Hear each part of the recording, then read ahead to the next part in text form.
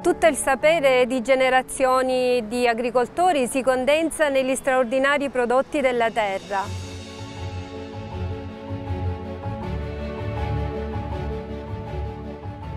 Ci troviamo a Sambuca di Sicilia, eh, al, ai piedi del Monte Genuardo. E oggi vi parlerò un po' della, del primo sale che noi produciamo nella nostra azienda.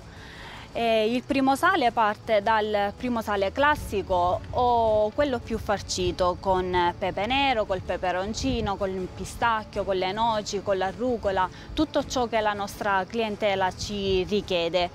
Eh, viene consumato in diverse maniere, può essere consumato semplicemente assaggiandolo così in maniera semplice, con il miele, con, eh, con un po' d'olio. Ehm, può essere messo nella pizza, nella pasta, nella parmigiana, insomma come più si desidera assaggiarlo.